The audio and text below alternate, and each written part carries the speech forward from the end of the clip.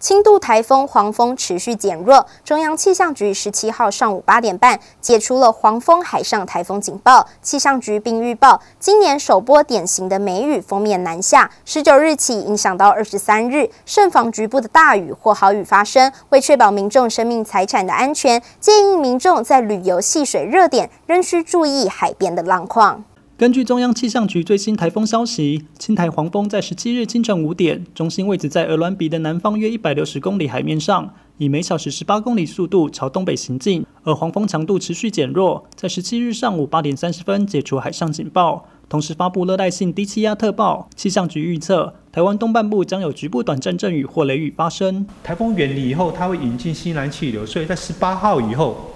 那是另外那一那个一个系统，就是西南风西南风起来，然后会影响。然后十八号晚上又有一个封面，会跟西南风刚好碰在一起，所以整个雨势会比较大。然后那时候的西南风也会比较强。所以基本上因为西南风，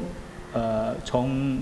西西半部这边过来嘛，所以刚开始的时候，我们东部还会被中央山脉挡到。但是刚才已经跟各位说了，就是说未来在十八号晚上、十九号。清晨会有一个封面下来，那个封面就会把整个呃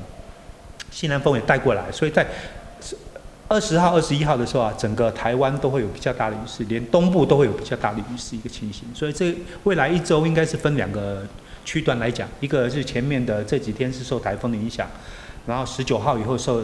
花莲这边是受西南风跟那封面的影响。未来这一周雨势可能都蛮大。下周起，封面逐渐移到台湾上空，在西南季风的配合下，将是今年第一道典型的梅雨封面。预计从十九日起影响至二十三日，这段期间全台都容易下雨，提醒民众外出记得携带雨具，留意雷击和瞬间阵风的剧烈天气变化。在旅游戏水热点，注意海边浪况，确保生命财产安全。记者蒋邦彦华联市报道。